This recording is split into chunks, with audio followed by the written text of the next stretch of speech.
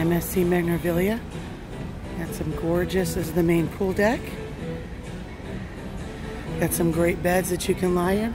On the seaside, I believe there's only eight. Here you've got a lot more.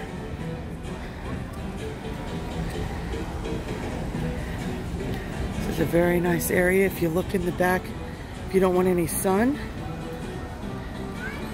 you can go underneath there and have some lunch, breakfast or dinner from the buffet.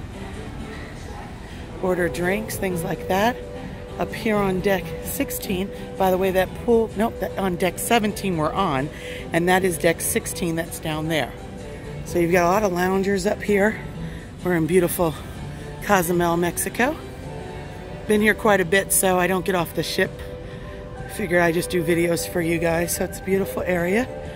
There's a nice lounge area. We're gonna go to videotape that area there as well.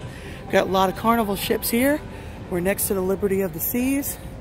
With this pool deck, you're to have some great movies, things like that going on. Big screen here. So you're to see, I think tonight's movie is Aladdin. So the new version with Will Smith, which is absolutely funny. I loved it. So, to have two hot tubs up here on deck 17. There's one over there. One right here.